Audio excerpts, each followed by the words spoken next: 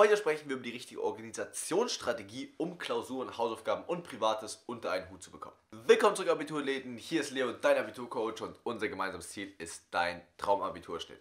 Gerade in der Oberstufe und dann speziell in den Klausurenphasen ist einfach so, es steht so viel an, so viele Termine, da die Hausaufgabe, da das Lernen, da das Referat, da die Prüfung, bam, bam, bam, bam, bam. Und dann kommt natürlich dazu noch das ganze Private, was ja gerade auch in, in unseren jungen Jahren, da passiert ja so vieles, man muss sich um so viele Dinge kümmern, was ist nach der Schule, andere Sachen, Freunde und so weiter.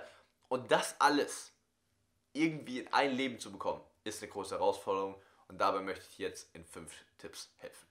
Erstens, Hausaufgaben direkt machen. Ich kann nicht groß genug betonen, wie unfassbar wichtig es ist, dass du wirklich einfach deine Hausaufgaben machst. Ja, am besten einfach direkt, wenn du nach der Schule kommst, ist von mir aus und setz dich hin, mach die Hausaufgaben und hab die einfach weg. Also die Hausaufgaben wegzuhaben, ist so wichtig. Weil wenn wir jetzt wirklich mal überlegen von Privates, Lernen für die Klausuren und Hausaufgaben.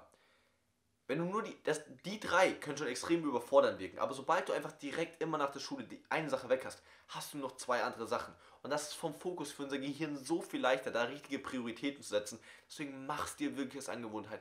Wenn du heimkommst, Hausaufgaben weg und du wirst so ein freieres Leben führen. Das ist es wirklich wert. Zweitens, Klausuren proaktiv angehen. Stress entsteht immer nur dann, wenn wir diese Sachen immer auf den letzten Drücker machen. Warum, warum entsteht der Stress? Na dann, wenn extrem viele Sachen auf extrem kurzer Zeit benötigt werden. Deswegen versuch die Dinge, wie zum Beispiel Klausuren, dass du ja meistens die Termine echt im Voraus. Versuch doch die einfach im Vorhinein schon zu machen, um das Ganze ein bisschen zu entzerren, dass es eben nicht so stressig ist. Ich weiß, es ist nicht leicht. Weil man sagt, ich prokrastiniere mal, ich fange nicht rechtzeitig genug an.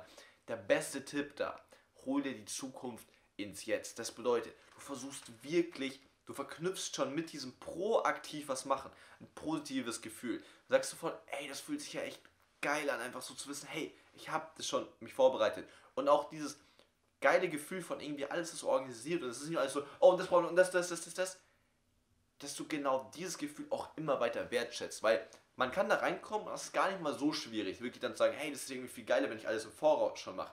Das Problem ist nur, wenn man es eine Zeit lang macht, nimmt man es für selbstverständlich. Und man kennt das gar nicht mehr, wenn alles so Chaos ist. Und dann tendiert man ganz wahrscheinlich dazu, eben wieder in dieses Chaos zu kommen, weil man nicht mehr so darauf achtet, eben alles im Voraus zu machen. Deswegen sei da unbedingt auf der Hut. Drittens, klare Kommunikation mit dem Umfeld.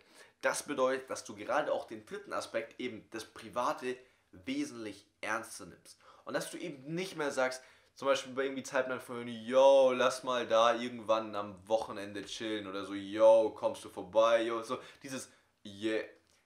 Versuch da mal davor ein bisschen mehr Abstand zu nehmen, aber versuch mal auf ein höheres Level zu gehen und zwar da wirklich ganz klar zu kommunizieren, hey, mit wem machen wir was, was wollen wir machen, warum und wie lange.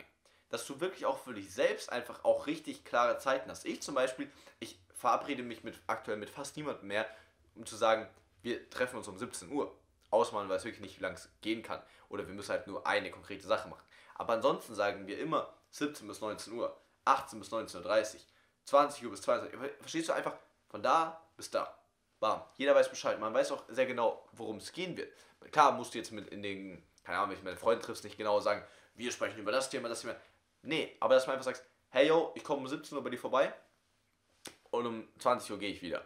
Einfach, dass, dass es klar ist, dass du dann auch in dem Treffen nicht da reinfallst in dieses, oh, ich könnte noch ein bisschen länger bleiben, ich muss eh so viel machen, dass du einfach Klarheit hast und du auf deine Entscheidungen in Bezug auch auf private Dinge viel, viel bewusster triffst. Viertens, keinen Käfig erschaffen. Das bedeutet, ja, es ist extrem wichtig, dass du eine klare Struktur, eine klare Organisation, einen klaren Plan hast, auch Tagesplan, Routinen. Extrem wichtig, extrem wichtig. Aber oft entsteht dieser Stress, diese, dieses, dieses, dieses, oh, ich schaffe das alles nicht oder das ist so schlimm und so weiter, oft auch nur dadurch, dass du eben dir so eine konkrete Struktur machst, weil du musst dir bewusst machen, jeder Plan ist nur ein Plan für die Realität, aber nicht die Realität selbst. Das heißt, du kannst es so perfekt durchgeplant haben, wie du willst. Es werden immer Dinge dazwischen kommen. Auf einmal braucht dich ein Freund ganz, ganz dringend. Auf einmal fällt eine Klausur aus. Solche Sachen kannst du nicht vorher planen.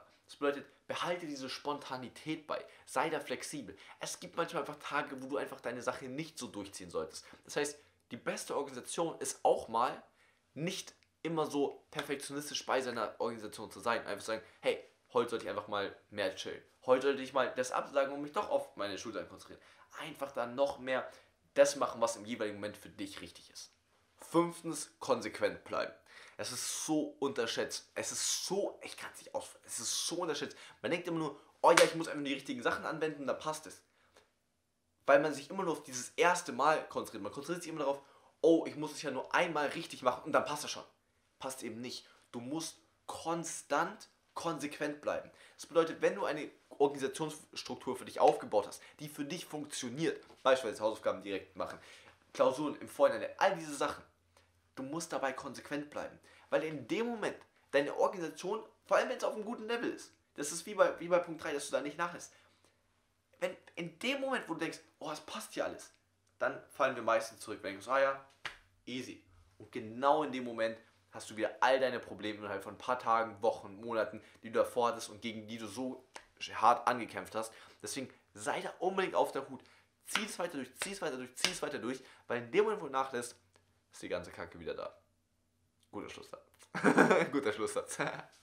In diesem Sinne, denk dran, ich glaube an dich. Wir beide sehen uns im nächsten Video. Dein Leo.